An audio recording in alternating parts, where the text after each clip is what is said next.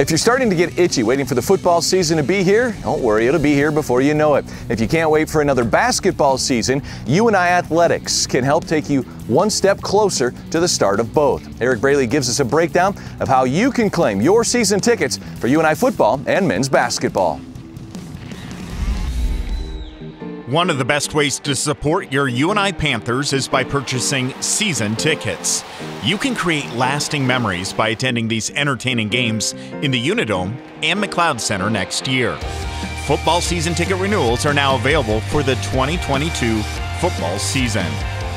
UNI is coming off another great season that included an appearance in the FCS postseason playoffs. The Panthers will open their 2022 UNI football season on the road and spend October in the Unidome. This is a unique opportunity as UNI fans will be treated to six games at home inside the Dome.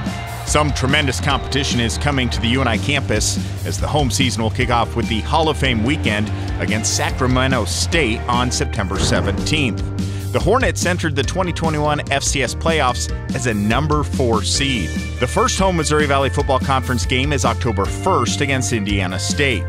The Panthers will be home five of the next six Saturdays, including a homecoming battle with Illinois State on the 8th, Youth Day against non conference opponent Dixie State on the 15th, Family Weekend versus the Missouri State Bears on the 22nd, and Military Appreciation and Senior Day against South Dakota State on November 5th. You can also order your men's basketball season tickets for the 2022 2023 season.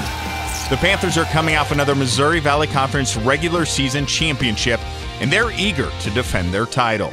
The schedule is yet to be released, but fans are guaranteed nine conference games and usually seven non conference games.